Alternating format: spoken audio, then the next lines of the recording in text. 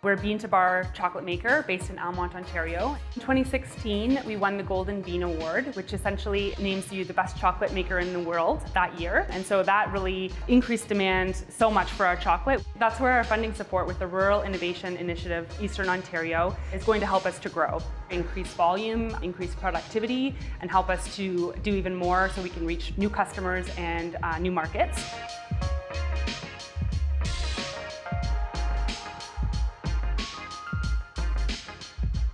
It was a seamless process for us from start to finish and a very quick turnaround process as well to get the project approved.